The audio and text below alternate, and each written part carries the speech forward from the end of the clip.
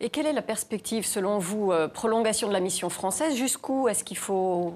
Jusqu'où les, les députés français vont se prononcer? J'accepte de vous dire que là, je ne peux pas vous répondre. Dans un premier temps, euh, je constate que les discussions que j'ai avec les ministres, le ministre des Affaires étrangères, le ministre de la Défense, le Premier ministre, le Président de la République, me conduit à engager la majorité dans le soutien pour la poursuite de cette opération.